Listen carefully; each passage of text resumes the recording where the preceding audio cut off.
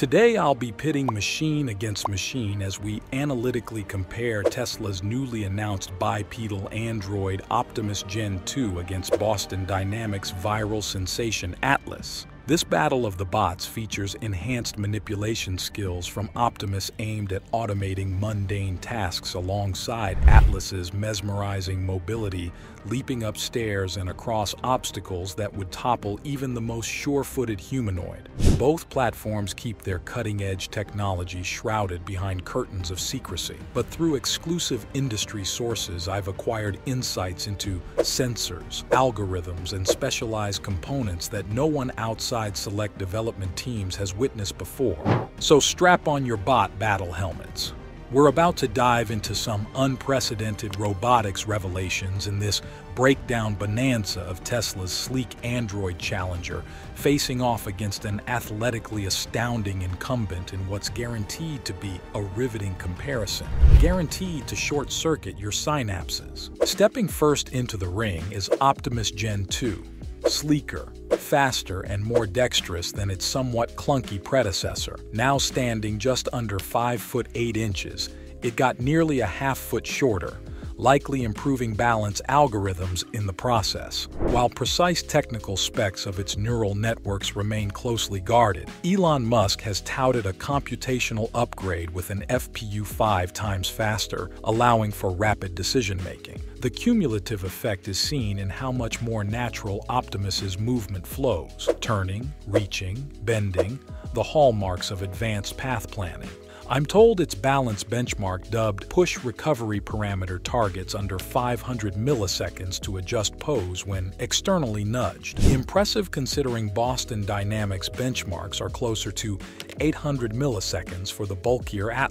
And speaking of bulk, at only 57 kilograms to Atlas's 80 kilograms, the lighter Optimus places less strain on its 28 servo motors. Interestingly, these motors are high torque density variants, which not only makes motions more responsive, but grants impressive strength for its frame size. Videos show Optimus can lift and manipulate heavy objects like metal beams. My guess is gear reduction ratios over 100 to 1 provide massive levels of output torque. Now diving into Optimus's hands, which showcase tremendous sensory motor advances since the Gen 1 model. Utilizing something called a tendon system akin to human anatomy, nylon cords connect small actuators in the forearm to finger joints. Combined with multiple touch sensors at the fingertips, this grants Optimus eerily dexterous manipulation with precise force and pressure feedback. Machine learning models then coordinate the muscle-like tension required across dozens of tendons to produce proper finger positions and grasping. My source mentioned each sensor patch samples at 5 kHz, transporting data through graphene-layered palm, likely into that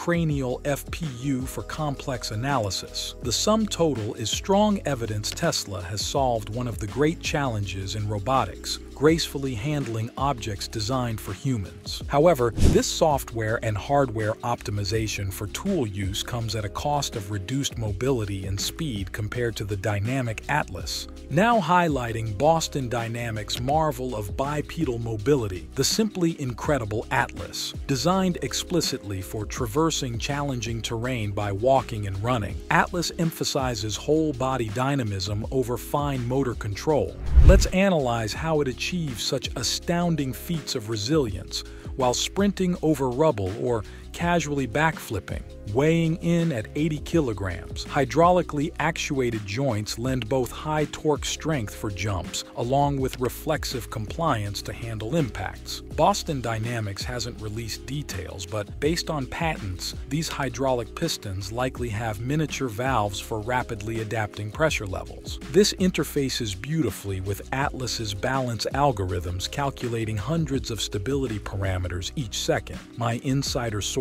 revealed it something something dubbed base actuator compliance dynamically based on velocity and inertia data. This allows Atlas to land reliably, even when leaping four vertical feet. Now drilling down into the sensors, LiDAR and stereo vision feed into spatial mapping models that identify terrain geometry, obstacles, even staircases in real time via neural nets. Atlas then adjusts stride, shifting weight across multiple pivot points to walk reliably, even when pushed from behind by 30% of its mass. My jaw drops every time I see those videos.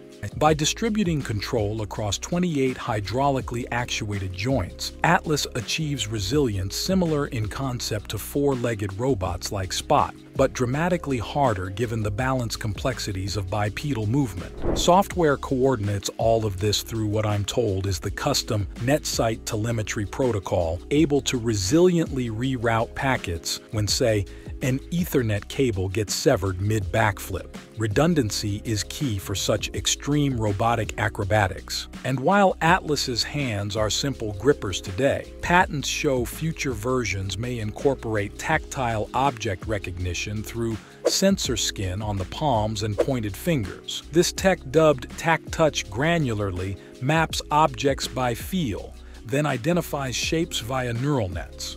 So while Atlas currently lags Optimus in dexterous manipulation, technology roadmaps suggest advanced grasping skills are forthcoming. I hope you've enjoyed this insider peek through the tech of Tesla's Optimus Gen 2 versus Boston Dynamics Atlas. It's amazing seeing robots achieve this level of agility, resilience, and intelligence modulating behavior in real time. Let me know which bot you find most impressive as an integrated system, Atlas's daring athleticism or Optimus's uncanny object manipulation. Please like and subscribe for more bleeding edge robotics analysis.